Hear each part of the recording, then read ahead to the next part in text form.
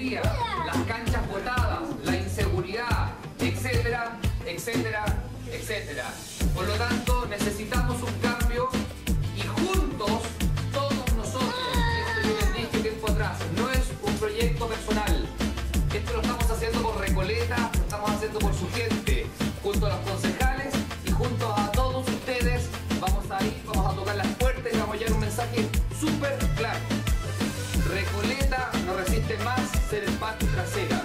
Y por lo tanto, todos nosotros somos el cambio que viene para Recoleta. Eso es lo que yo pretendo que hoy día le transmitamos a la gente. Les vamos a dejar un calendario, les vamos a dejar un díptico, pero es muy importante que todos y cada uno de ustedes sean capaces de decirle a todos los vecinos de Recoleta que Recoleta llora por un cambio. Y ese cambio somos todos nosotros. Así que ahora tocar las puertas y nos encontramos más tarde para pasarlo bien y compartir un, un ratito. Así que muchas gracias.